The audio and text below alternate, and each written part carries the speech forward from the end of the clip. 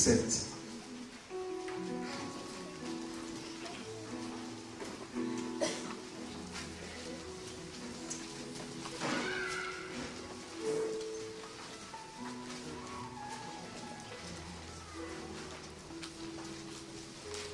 Nous allons prendre le verset 17, du verset 17 au verset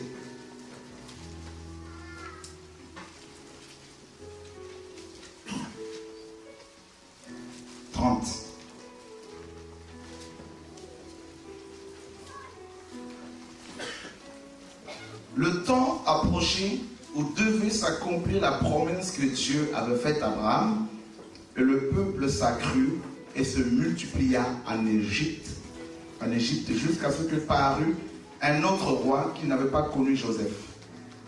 Ce roi, usant d'artifice contre notre race, maltraita nos pères au point de leur faire exposer leurs enfants pour qu'ils ne vivent pas.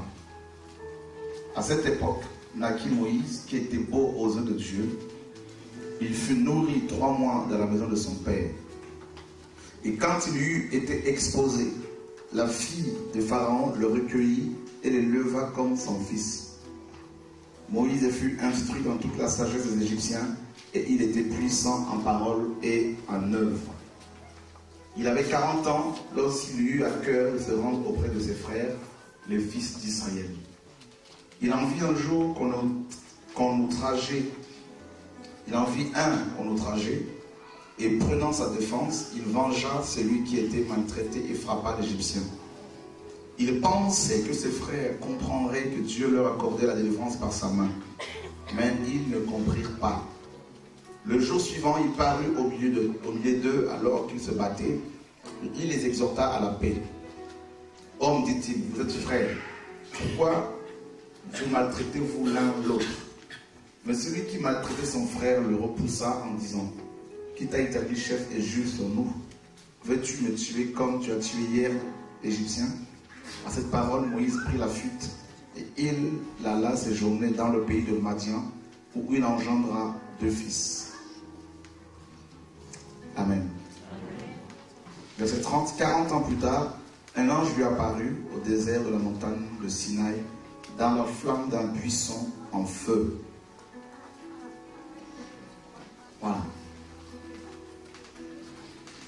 La promesse de Dieu. Je voudrais demander à ceux et celles qui ont déjà reçu une promesse de Dieu dans leur vie de lever la main.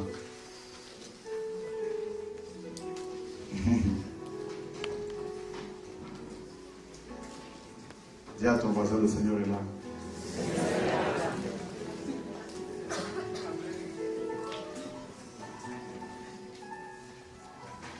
Nous avons tous reçu des promesses, n'est-ce pas? De la part du Seigneur. Oh, c'est beau quand on reçoit les belles paroles de la part du Seigneur. Tu seras, tu seras, tu seras. Alléluia, gloire à Dieu, gloire à Dieu.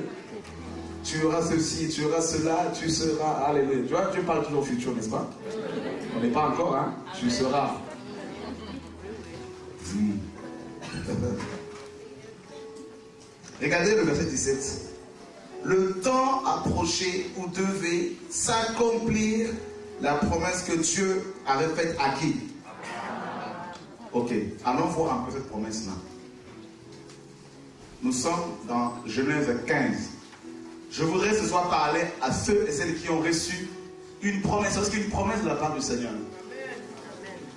Leur vie. Ouvrez grandement vos oreilles parce que Dieu va nous parler. Amen. Amen.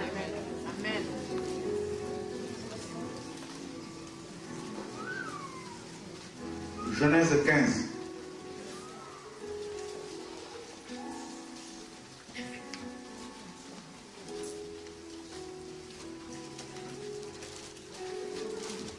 Nous lisons à partir du verset premier.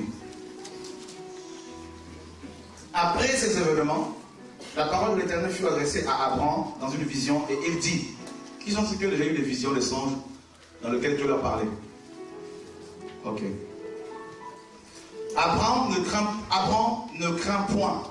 Je suis ton bouclier et ta récompense sera très grande. Abraham répondit, Seigneur éternel, que me donneras-tu? Je m'en vais sans enfant. Et l'héritier de ma maison, c'est Eliezer de Damas. Et Abraham dit, voici tu ne m'as pas donné de postérité, et celui qui est né dans ma maison sera mon, héritier. Alors la parole de l'Éternel fut adressée ainsi, lui fut adressée ainsi. Ce n'est pas celui qui sera, ce n'est pas lui qui sera ton héritier, mais c'est celui qui sortira de tes entrailles qui sera ton héritier. Et après l'avoir conduit dehors, il dit, regarde vers le ciel et compte les étoiles, tu peux les compter. Et il lui dit, telle sera ta Abraham, donc ta possédure, ta descendance ou ta semence. Abraham eut confiance en l'Éternel qui le lui imputa à justice. Amen. Dieu parle à Abraham ici. Suivez très bien ce que le Seigneur va te dire, vous dire. Abraham, Dieu lui dit dans Genèse 12, sors de ta patrie, sors de ta maison, quitte ton père et ta mère, et va dans ce pays que je te montrerai. Abraham, nous dit la parole, va effectivement sortir de sa patrie.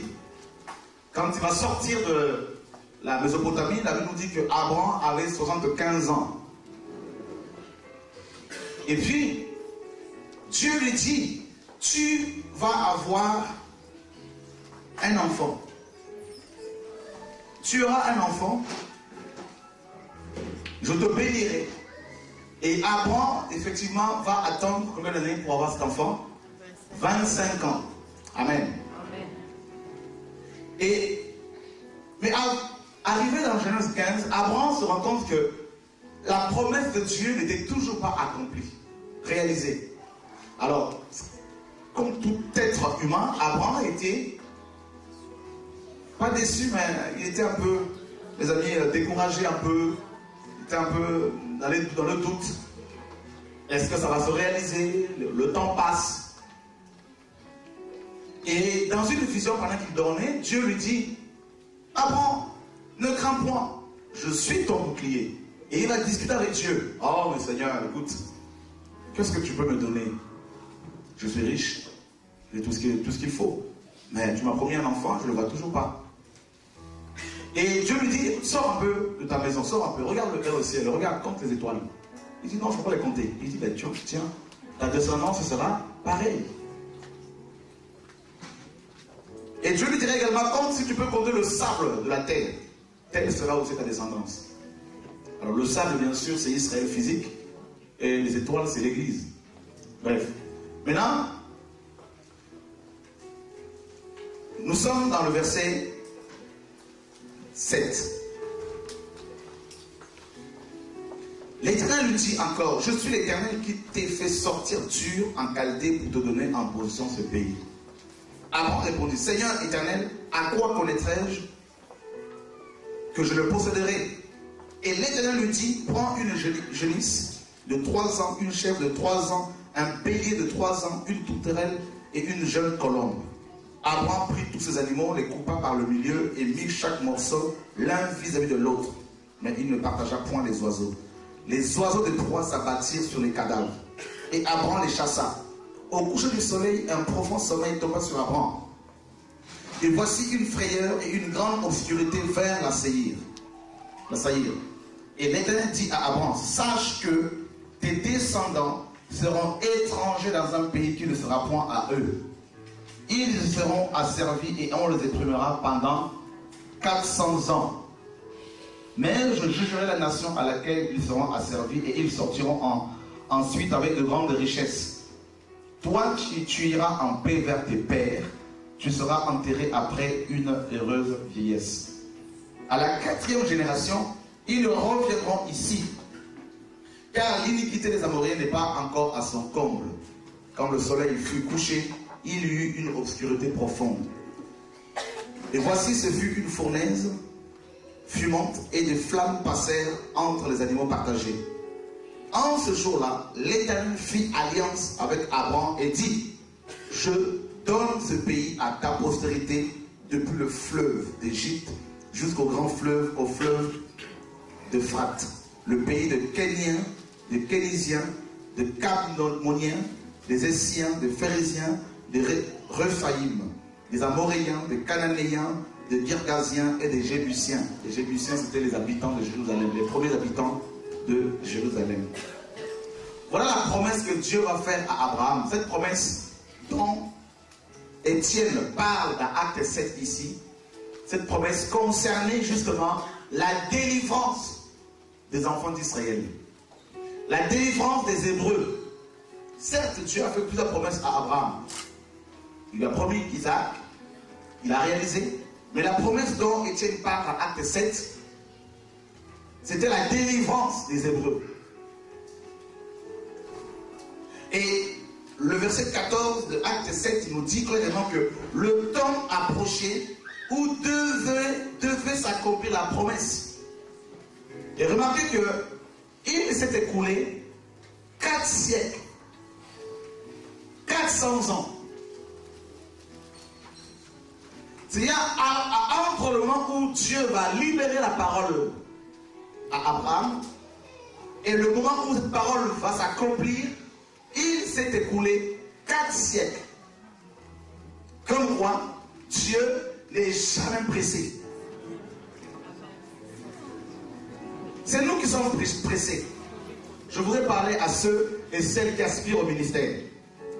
Pourquoi beaucoup se cassent-ils facilement Beaucoup sont pressés. Ils sont chauds, chauds, chauds, chauds, chauds, chauds, chauds, chauds, chauds, chauds, chauds. Ils se découragent vite. Ils baissent les bras vite. Se découragent et prennent des décisions eux-mêmes. Je, je, je, je. Alors que Dieu n'a rien dit encore. Ils bougent alors que Dieu n'a rien dit. Ils s'en vont alors que Dieu n'a rien dit. Ils partent, ils quittent alors que Dieu n'a rien dit. Voilà comment beaucoup sortent de la peine. Dieu est à vous. Dieu nous aide. Alors, Abraham, était fatigué, il en avait assez. Dieu qui l'a sorti de son pays va lui promettre un enfant. Il va attendre 25 ans. Ensuite, Dieu lui dit, écoute, la terre que tes pieds foulent, je te la donne à toi et à ta postérité. Et il dit, ta postérité sera esclave dans un pays étranger. Mais après, je la délivrerai. Elle reviendra ici. Sur, dans le pays de Cana, Cananéen. Abraham va mourir. Il a, il, a, il a eu le temps, avant de mourir, de partager cette promesse à son fils Isaac. Et Dieu vient dire à Isaac, il va réitérer la promesse faite à Abraham, à Isaac. Il va lui dire, tu auras, n'est-ce pas, ta postérité va posséder la terre de tes pieds foules. Isaac, à son tour, en parle à Jacob. Et Dieu va venir voir Jacob et lui dira la même chose. Dans Genèse 28. Les trois vont mourir. Regardez quelqu'un qui avait la promesse de Dieu. Abraham, par la suite Isaac et Jacob. Parlons de Jacob, parce qu'il a hérité de la même promesse. Quelqu'un qui reçoit la promesse de Dieu, mes amis, Jacob, il avait la promesse avec lui. Il marchait de la promesse. Il parlait aux gens de la promesse. Dieu m'a dit ceci, Dieu m'a dit cela, Dieu m'a dit, Dieu m'a dit. Mais qu'est-ce qui se passer? Regardez un peu la vie de Jacob. Dieu va permettre à ce qu'il y ait la famine dans le pays où Jacob vivait. Ce n'est pas parce que tu as la promesse de Dieu que tu n'auras pas de problèmes, justement. Non, non, non, j'en peux plus, j'en ai assez, j'en ai assez. Ah, tu en as assez. Il y en a beaucoup qui ont avorté, qui ont avorté de la promesse de Dieu.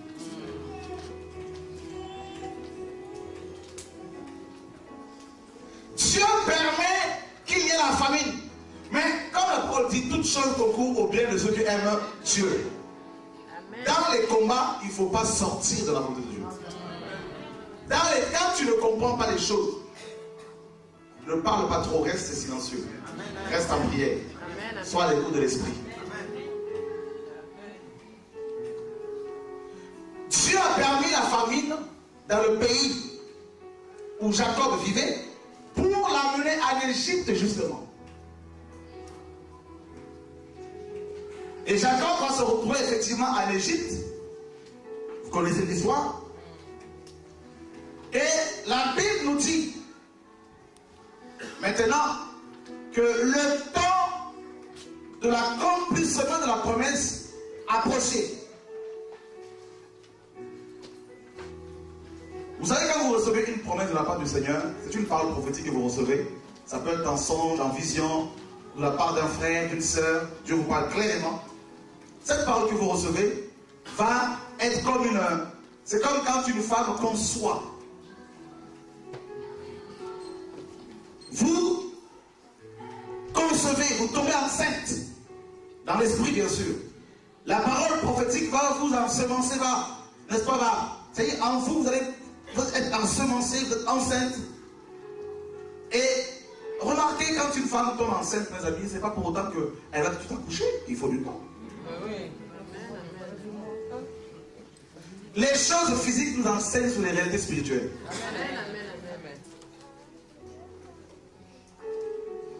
Pour les enfants d'Israël, ils ont attendu 400 ans. Et pourtant, ils connaissaient cette promesse. Verset 17 de Acte 7, le temps approchait où devait s'accomplir la promesse que Dieu avait faite à Aaron. Et le peuple s'accrut et se multiplia en Égypte jusqu'à ce que parut un roi qui n'avait pas connu Joseph. Pour que la promesse de Dieu s'accomplisse, Dieu va, va susciter Pharaon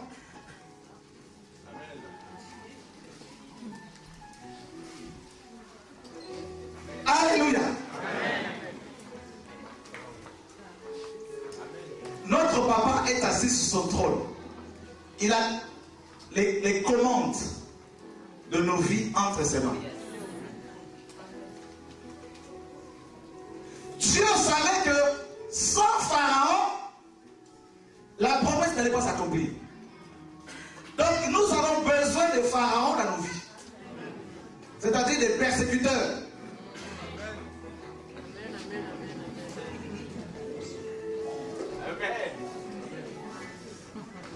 Donc quand tu es persécuté, logiquement, tu dois acclamer Dieu de toute ta force. Parce que la persécution constitue les contractions qui vont permettre à l'enfant de venir. Mais maintenant, nous sommes tellement charnels.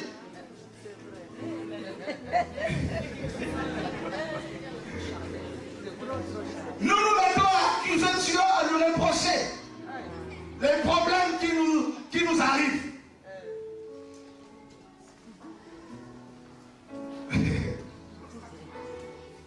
Dieu dit, c'est moi qui ai suscité Pharaon. Mais quel Dieu avons-nous, frère?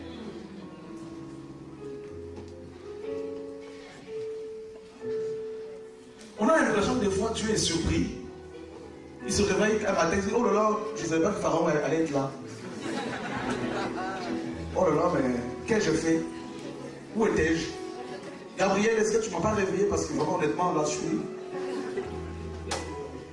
Oh, mais qu'est-ce qui m'arrive aujourd'hui? Parce que ben, je ne savais pas que ma fille souffrait comme ça.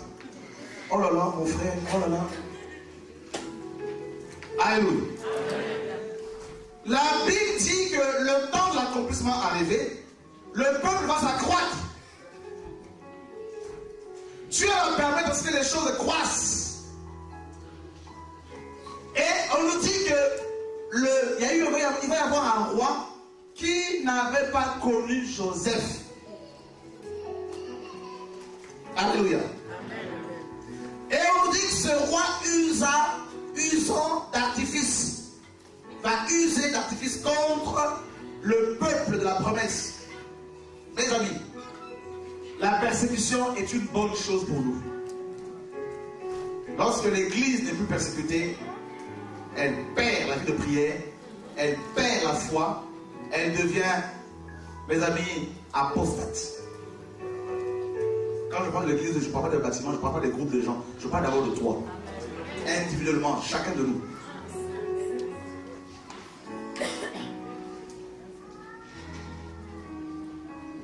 Et ce roi, d'après Exode 1, va tellement persécuter les Hébreux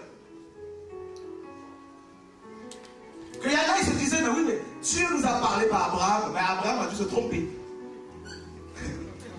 voilà la promesse qu'il a reçue. Il a reçu une promesse, et voilà quelle situation nous nous trouvons actuellement. La persécution, les travaux forcés, il devait porter des, grosses briques, pousser des grosses pierres. On ne leur donnait pas assez à manger. Mais pourtant, ils avaient reçu la promesse. Oh, Dieu m'a dit, ma femme va revenir. Les gens se moquent, ils vont se moquer. Le temps passe, on ne voit pas la chose arriver.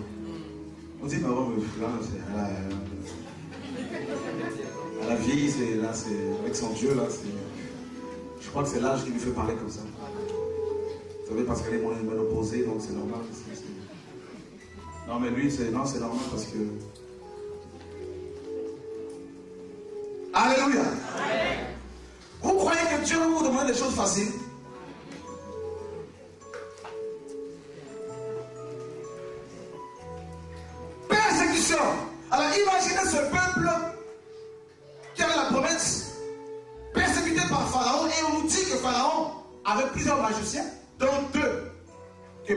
Dans deux Timothée, Jeannès et Jambres.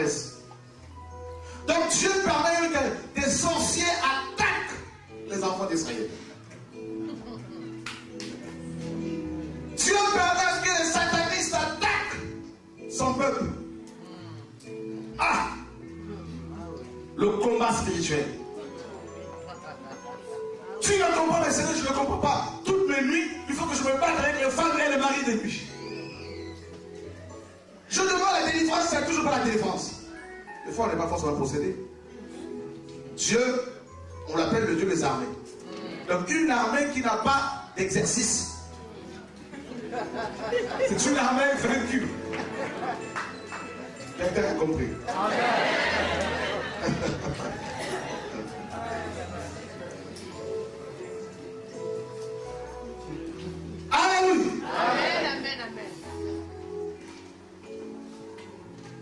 Il faut arrêter d'accuser Satan, Satan, Satan, Satan.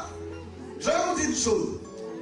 Mes amis, avant que Dieu ne crée l'univers et les anges, quand il était encore tout seul, Dieu savait que Satan, Dieu savait que cet archange allait devenir Satan. Lui, il le savait. Avant qu'il ne te crée toi, avant qu'il ne me crée, avant qu'il ne crée, euh, comment dire, ce chérubin, protecteur, Satan, avant qu'il ne devienne Satan, Dieu savait qu'un jour, il allait créer un ange, cet ange allait se rebeller avec un tiers d'anges, et qu'il allait devenir Satan, des démons, tout ça. Dieu savait tout ça, frère, tout ça, au millimètre parfaitement, il savait. Amen, amen, amen, amen. Voilà comment Dieu va dire à Satan dans Job 1. Satan, d'où viens-tu? Oh Dieu, je vais me balader de. Je fais un petit tour ici et là. Je vais te visiter un peu la planète Terre. Mais est-ce que pendant que tu faisais ta, visite, ta balade, est-ce que tu as vu mon secteur Job Oh oui, ah oui, Job, oh, oui, j'ai vu. Ah mais tu sais, Dieu, si Job de craint, c'est parce que tu l'as béni financièrement, matériellement. Or, Job n'avait qu'une seule révélation, il avait entendu parler de Dieu. Maintenant, tu veux l'amener à une nouvelle révélation. La, vue. Mais maintenant, Dieu va utiliser Satan à son insu. Donc, je veux que tu saches ce soir que Satan est au service du Créateur. Dieu dit à Satan, ok, tu peux aller toucher à ses biens. Et comme il était mal méchant, à un jour, il a tout cassé.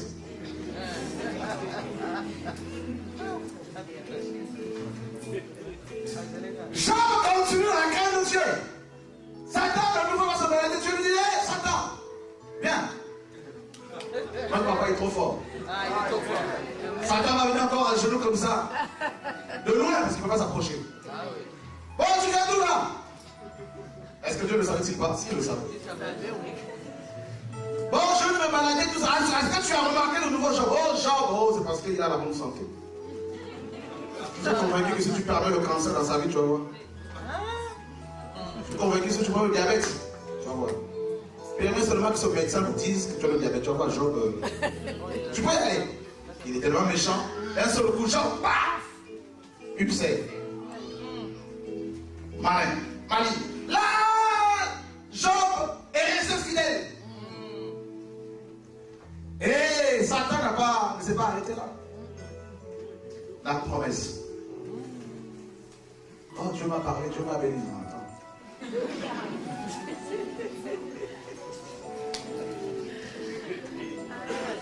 Satan est allé chercher les amis de Job. Dis à ton voisin les amis.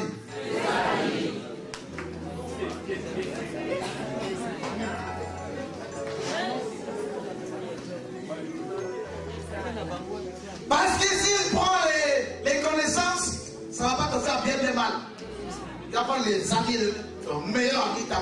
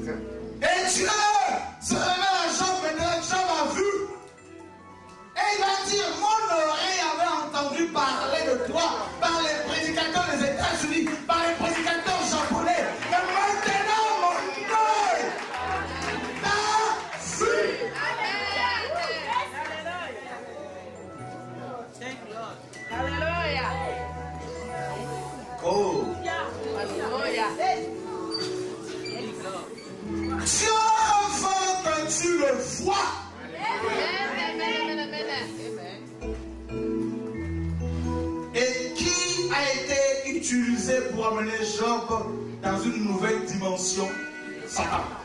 Dis à ton voisin Satan.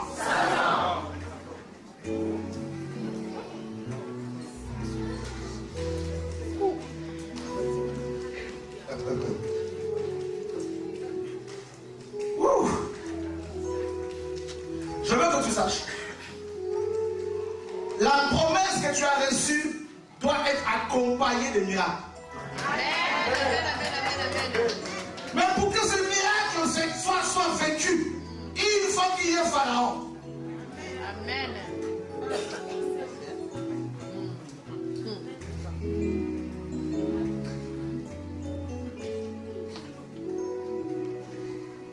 Tu as reçu un bâton.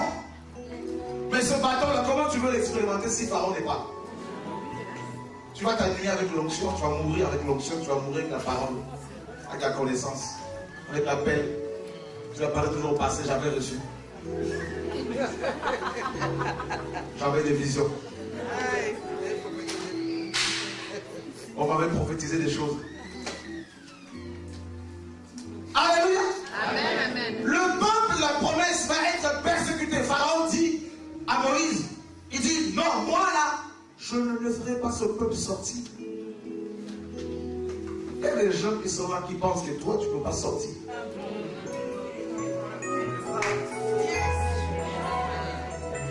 Nous pouvons tous se retrouver ensemble.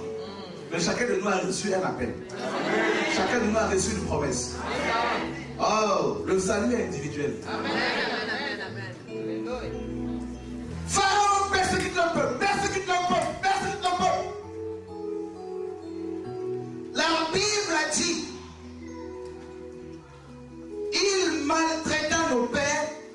De leur faire exposer leurs enfants pour qu'ils ne vivent pas. Et on dit à cette époque, dis à ton, voisin, à cette époque,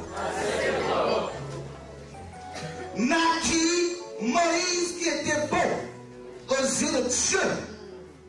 Mon frère, ma soeur, à cette époque, la promesse de Dieu, libérée par le Seigneur il y a 4 400 ans auparavant, plutôt à Moïse, à Abraham, cette promesse, 400 ans après, il y a eu la persécution, il y a eu le rejet. Et Dieu va permettre ce qu'un enfant naisse. Moïse. Il y a ton voisin Moïse. Peut-être même que tu es Moïse de cette génération.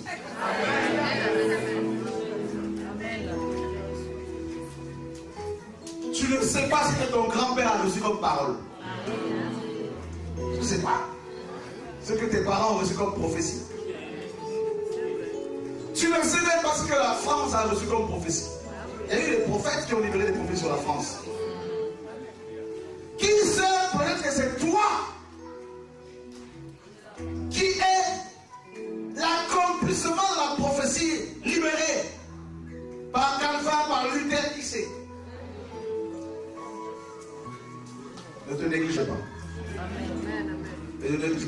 Pas le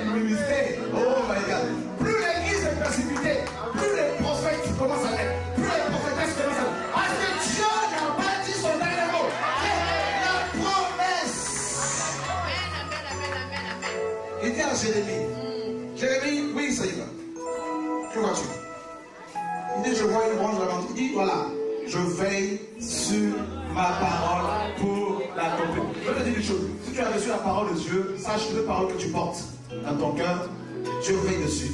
Et s'il veille sur la parole, donc forcément, il veille sur toi. Amen. Malheur à ceux qui vont te toucher. Quand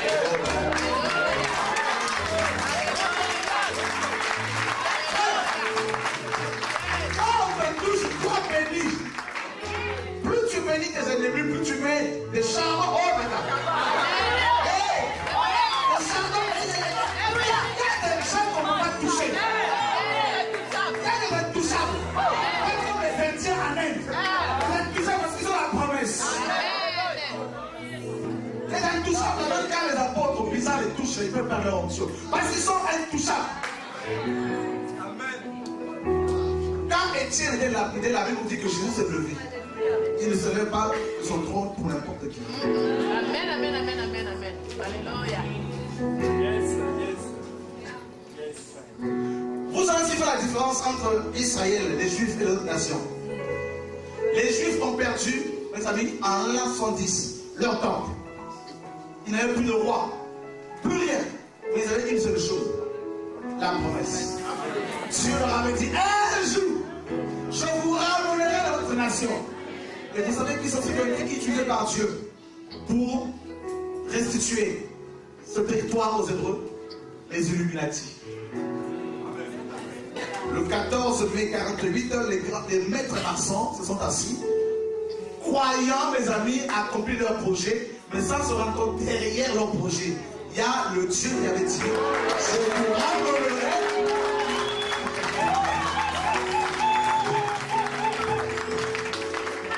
J'aime tellement la parole de Dieu que dans Apocalypse 16, on nous dit qu'il y a de la gueule de la bête, de la gueule, mes amis, du dragon. De la bouche du faux prophète sortent trois esprits impurs comme des grenouilles qui vont vers les rois de la terre pour les rassembler pour le, le grand combat. Mais bizarrement, dans Zacharie 14, on nous dit que c'est Dieu qui rassemble les nations pour qu'elles attaquent Israël. Mais c'est bizarre. Donc, dans Apocalypse 16, on dit que ce sont les démons, mais dans Zacharie 14, on dit que c'est Dieu lui-même. En fait, il n'y a pas de contradiction. Les démons croient que c'est eux qui rassemblent. Mais ça se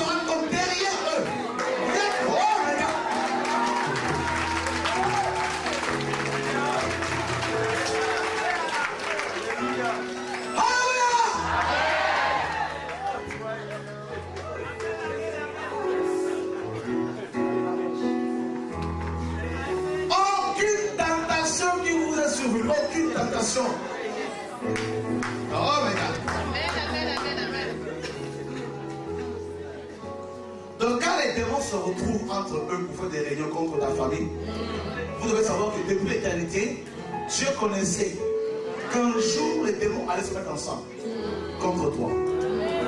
Et comme il est Dieu, il a permis lui-même cette réunion pour t'amener maintenant à une autre dimension. Le problème, c'est nous. C'est la connaissance qui nous manque. C'est la révélation de ce grand Dieu. Voilà pourquoi vous remarquerez que si quelqu'un si est appelé par le Seigneur et qu'il reste fidèle à la parole, mes amis, quel que plus on combat, plus la personne monte. Les épreuves sont nos vitamines.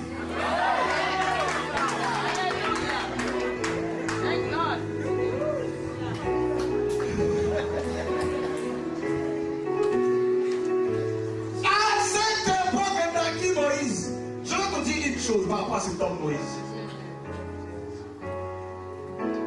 Dans le palais du Pharaon, des lois ont été votées. Ce sont les sorciers, les magiciens du Pharaon qui l'ont poussé à prendre des mesures pour tuer tous les enfants mâles chez les Hébreux. Dans ce même palais où on avait signé ce décret, Dieu prend Moïse.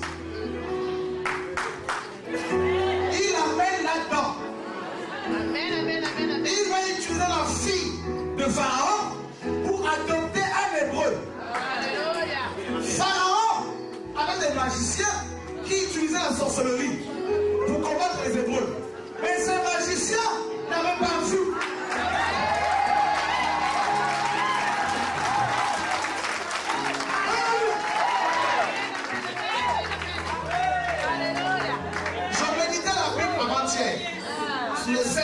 Je me suis rendu compte qu'une de ces coupes va être déversée sur le royaume de, l'homme impie, de la bête. Et il va y avoir des ténèbres, des ténèbres, mes amis, des ténèbres qui seront pratiquement palpables. Pendant que je méditais, Dieu me disait, tu vois mon fils, n'est-ce pas que Satan règne dans le royaume, sur le royaume des ténèbres Je dis oui papa. Il me dit, tu vois, je te montrer, je suis plus grand. Il, est dans les ténèbres, mais je veux lui, lui amener d'autres ténèbres qui seront plus épaisses. Je contrôle les ténèbres.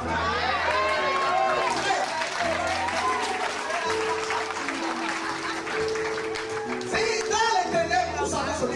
Dieu lui enverra d'autres ténèbres et Satan ne pourra plus rien voir. Mes amis,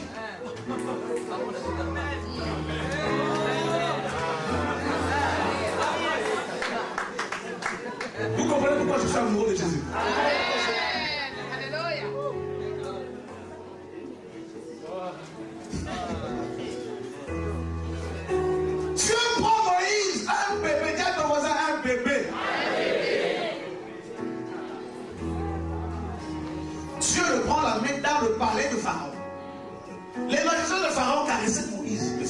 Amen, amen.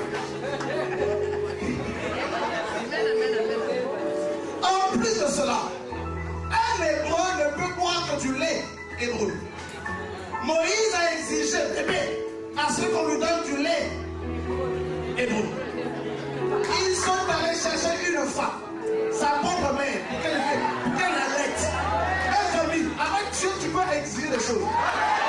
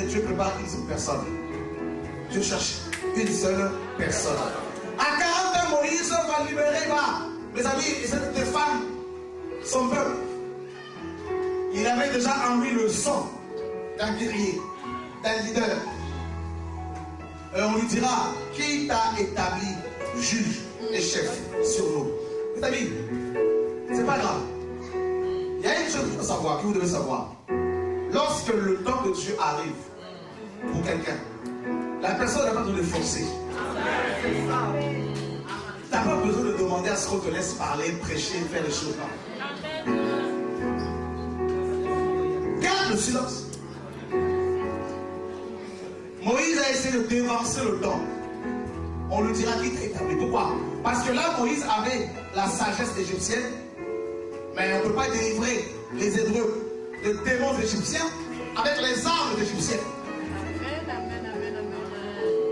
Tu ne peux pas répondre à l'appel du Seigneur parce que tu as pas plus 20, pas plus 30. Parce que tu es ingénieur. Dieu va devoir d'abord te travailler. Amen, amen, amen. Rappelez-vous bien qu'il n'est jamais pressé. Dieu dit, bon Moïse, tu vas essayer de défendre les Hébreux avec la connaissance égyptienne, avec la sagesse égyptienne, avec les diplômes égyptiens, ça ne marchera pas. Et Dieu l'amène, tout ça, dans le désert de Madianite. Moïse est prince, quel voisin prince Lorsqu'il arrive chez les Madianites, il voit les filles de Jétro. Les filles de Jétro, mes amis, quand elles ont vu Moïse, elles se sont dit, ah, c'est un Égyptien. Leur père leur dira, mais pourquoi êtes-vous rentrés si tôt? Elles diront, non, un Égyptien nous a aidés à puiser de l'eau. Parce que Moïse était habillé comme un Égyptien. Moïse parlait comme un Égyptien. Alors Dieu va se dire, il faut 40 autres années.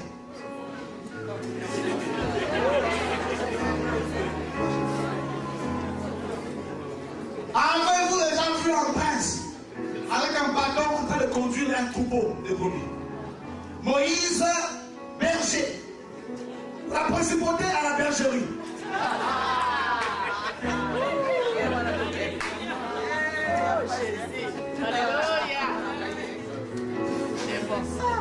Tiens, ton voisin, c'est ça le de la Bible.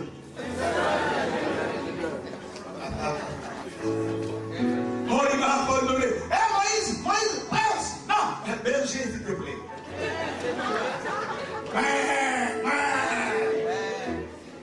Avant d'être berger des âmes, il faut d'abord être berger des body. Celui qui est fidèle dans les moindres des choses le sera dans les grandes. C'est ça que tu frère. Amen.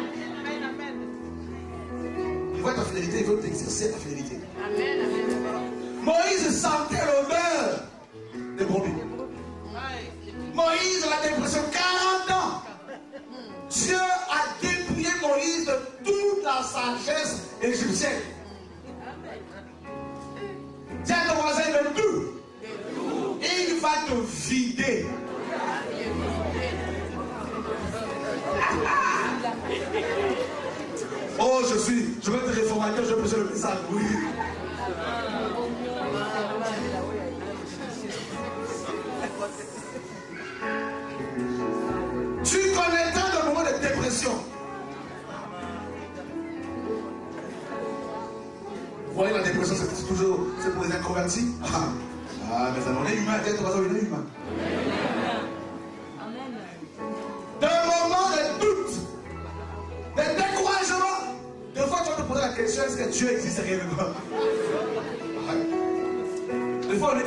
Je vais vous dire, non, ça c'est vraiment du peu Satan, quand on était pensé, est-ce que vraiment, est-ce qu'il n'est pas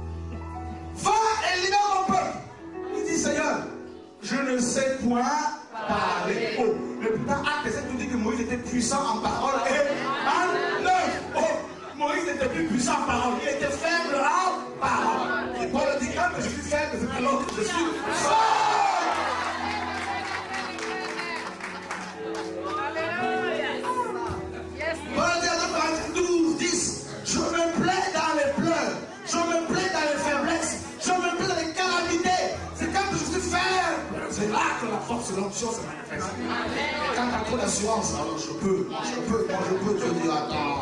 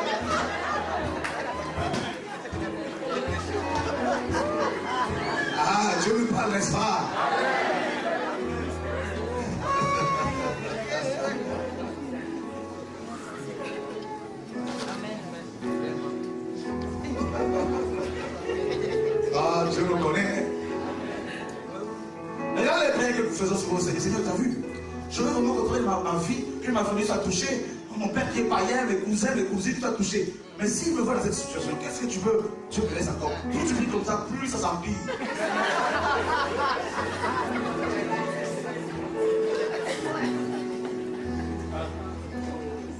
Mais tu vas te non, mais je crois que c'est à cause de l'église où je prie. Je crois que là-bas, il y a la sorcellerie, donc il le charme. Non, ce n'est pas l'église qu'il faut changer. Si tu as Jésus, peu importe la mort où tu es, si tu crains, tu es frère. Oh. Tu es damné dans la désert c'est vrai que Chora, il ne m'appelle même pas, de toute façon, il ne calcule pas. Non, lui, là, Dieu lui a cache-toi. Le problème, c'est pas lui, le problème, c'est toi. Dieu est en train de te travailler, frère. Amen. Amen. Amen. Amen. Alléluia. Amen. Moïse, oui, Dieu. Vous avez vu comment Moïse a discuté? Oui, mais si tu m'envoies là-bas, on, me posera la question, mais qui t'envoie?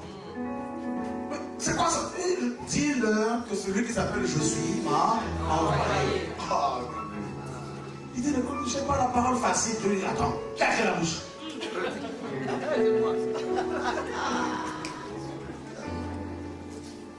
Bon, voici ton frère Aaron qui arrive. Tu partiras avec lui, je, fais, je te fais Dieu et Aaron ton prophète. Allez, allez dans le peuple. Moïse se dit, non, mais c'est vrai que Pharaon a une grande armée. Il a des magiciens. Donc certainement, il va me donner des armes nucléaires. Des Kalachnikov, tout ça. Et Dieu lui dit, tu as quoi là avec toi? Un bâton. Il prend les choses vides.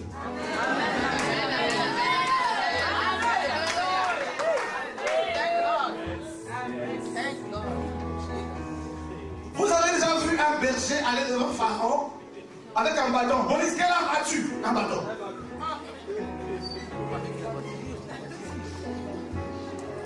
Si tu regardes à ta taille, tu ne feras jamais le ministère. Amen. Si tu regardes à ta personne, tu vas échouer à chaque fois. Amen. C'est vrai. Dieu dit prends le bâton que tu as, jette-le. Ah, le bâton se transforme en serpent. Pourquoi le serpent? Parce que le Dieu, un le Dieu principal égyptien, c'était le serpent. Et Dieu a exercé Moïse au combat. Dieu lui a donné la force, la gestion, l'autorité sur le serpent dans le désert. Avant d'aller affronter Pharaon, Dieu va te t'amener dans le désert comme David. Il a combattu l'ours, le lion, dans la forêt. Jean, avant d'aller comparaître devant les pharisiens, il était dans les déserts. Il y a plusieurs. Il était dans les déserts de la Judée. Là, là, c'est entre toi et Dieu. Tu vas confronter Satan, seul à seul, les démons. Tu vas confronter la, la, la, la, la, comment? La, la pression. Tu vas confronter,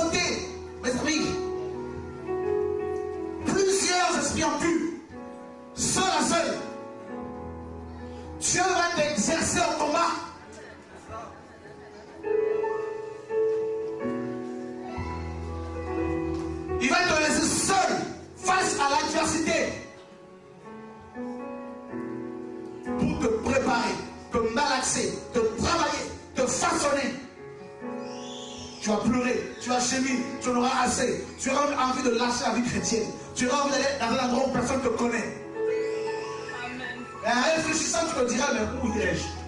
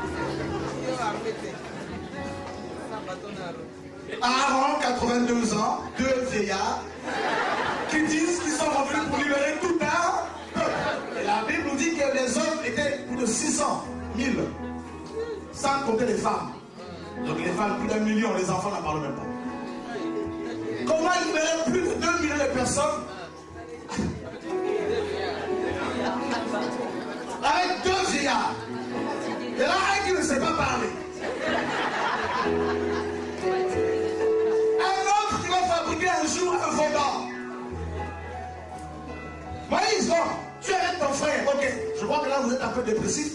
Bon, avec quelle armée? Non, c'est juste le bâton. Ah bon, le, le- bâton. Attends, Moïse, quand même, le Moïse.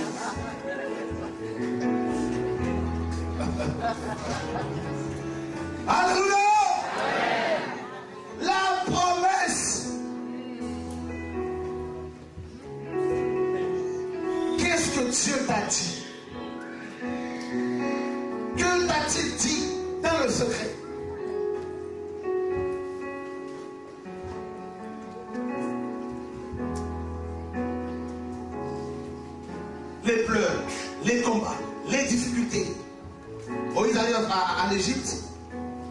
Devant Pharaon. Pharaon, Dieu m'a dit, tu dois libérer son peuple. Le matin, Moïse, là, là. Alléluia. Il a fait des miracles. Les magiciens les ont imités. Mais arrivé au miracle de poux, les magiciens n'ont pas pu le reproduire. Et ils diront à Pharaon, c'est le doigt de Dieu. Et vous savez par la suite, le peuple va être libéré. Mais une fois libéré, le peuple arrive devant la mer rouge. Que faire? L'armée de Pharaon est derrière. Derrière, il y a l'obstacle. Devant, il y a aussi l'obstacle. Tu fais quoi? Quelle direction prendre? Tu es coincé. Beaucoup ils se sont coincés. Ils ne savent plus vers qui se tourner. Ils ne savent plus quelle prière faire. S'il faut jeûner, il y en a des méthodes maintenant. Est-ce qu'il faut faire trois jours à sec pour que tu entendes? Est-ce qu'il faut, est faut faire 40 jours? Voilà comment on rentre dans les méthodes après. Il faut faire un jeûne de Daniel, je crois, 21 jours. Ça fait Dieu enverra un ange. Bon, je crois que si je prends avec Chora, ça va beaucoup marcher parce que lui, il est connecté. Mais pourquoi Chora, il a prié Dieu l'a amis, quand Dieu met quelqu'un dans un désert, je prie pour toi,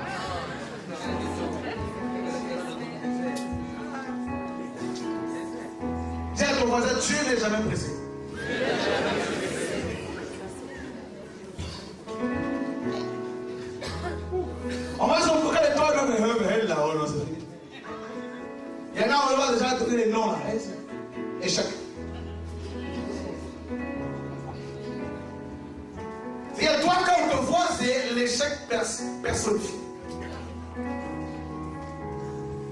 Alors, elle, oh non, euh, il veut pas la peine. Pourquoi là avec Lui, non, mais c'est pas la peine. Mes frères, Dieu attendait la Pâque, la délivrance. Le Dieu que tu sais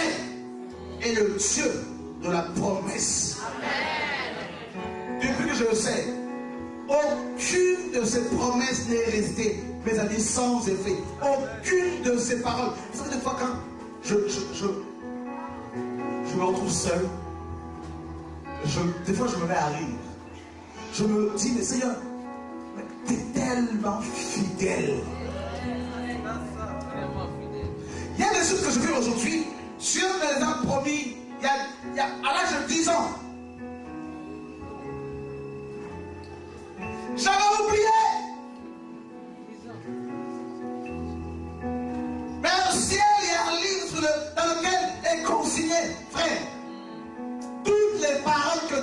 Toutes les visions que tu as reçues, les songes que tu as reçus par rapport à ton appel, tout ce que tu as reçu de la part de Dieu, garde le silence.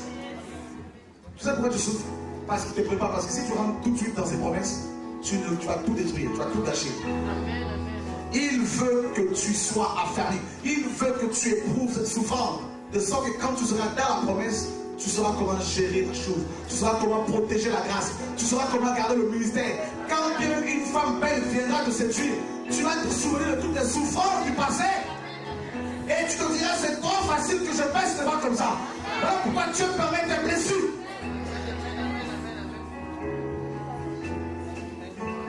Les gens vont parler, je sais. Oh non, c'est un voyou, c'est un magicien. Tu es ceci, tu es cela. Appelle dictateur, tout ce que tu veux faire. Ferme tes oreilles. Ferme tes oreilles. Il y a une chose que je sais. Les gens peuvent parler, dire, dire tout ce que tu sur toi. Si tu restes fidèle à Dieu, les barbares avec Paul avaient changé de langage. Frère, ils ont dit quoi? Paul était un meurtrier. Ça arrive que des vipères dans tes veines. Amen, amen, amen. Ce venin ne peut rien, ne peut rien contre toi. Frère, garde le silence. Si on te persécute, tu pleures, ça veut dire que tu es encore fragile.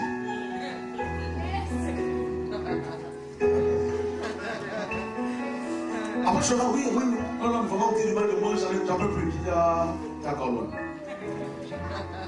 Ton chemin là. Vas plus pour lui dire, oh, je bénis Dieu. Mais pourquoi? Parce qu'on va traiter de sorcier. Alléluia, gloire à Dieu. Alors que Dieu soit béni. Parce que là, c'est là que la bénédiction commence à venir. Amen, amen, amen. Sarah, qui avait cru Sarah pour être enceinte Hein? Sarah, elle a eu Isaac à quel âge? 80 La ménopause commence à quel, âge Hein 45 ans hein Donc Sarah était doublement ménopausée. Mais le Dieu de la Bible, frère, ne met pas les pauses n'importe comment, frère. Même si tu es doublement ménopausé, Dieu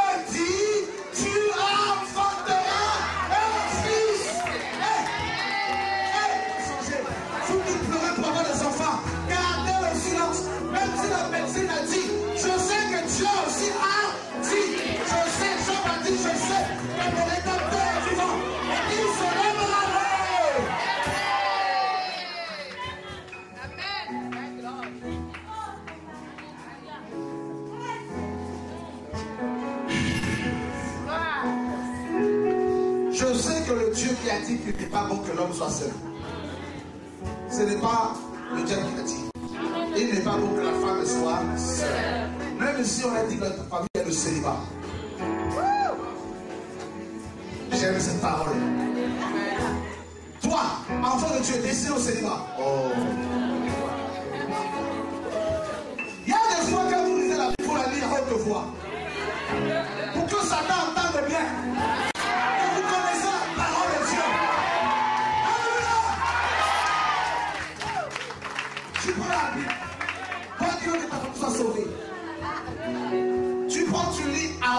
À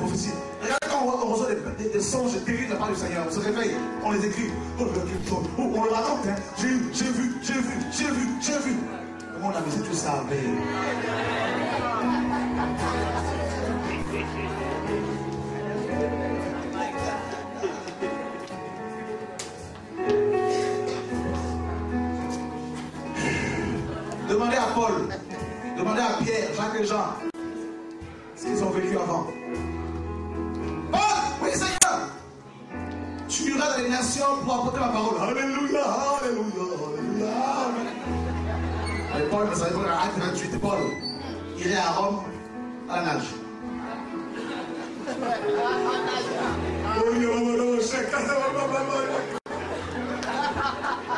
Qui est en train de nager ce soir? Alléluia! On dit dans la malédiction, arrêtons de voir le combat inutile, le combat spirituel qu'on va combattre, combattre, jusqu'à quand tu vas combattre.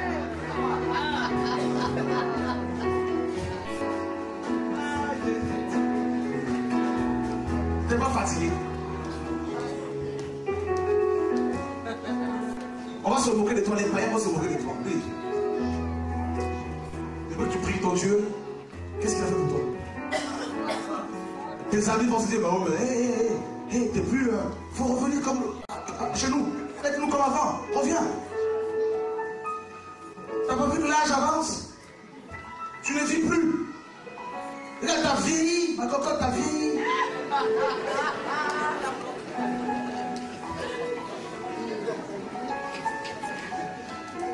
Quelqu'un de la Bible David dans Somme 113, euh, 73, dans Somme 73, David dit Pourquoi les méchants prospèrent On a l'impression qu'ils ont bonne mine.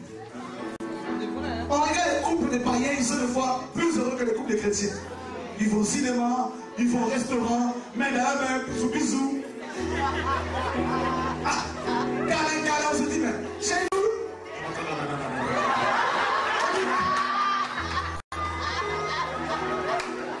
Alléluia. Qu'est-ce qui se passe les chrétiens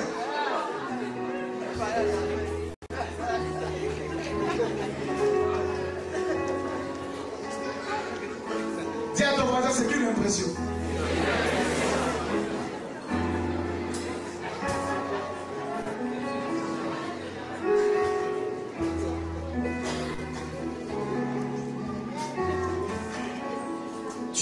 Plus faire marche arrière. Plus tu t'approches de l'accomplissement de la, prophétie, plus les épreuves deviennent intenses. Donc si tu pleures en ce moment, si tu gémis en ce moment, si tu en as mal en ce moment, c'est une bonne chose. Ça veut dire que Dieu est en train de travailler. Pour ta famille, ne pleure plus. Pour ta mère, ne pleure plus. Pour ton père, ne pleure plus. Dis un Seigneur. Je veux continuer dans la crainte de ton nom. Je sais que quand tu parles, quand tu libères une promesse, je sais que tu l'accomplis à chaque fois.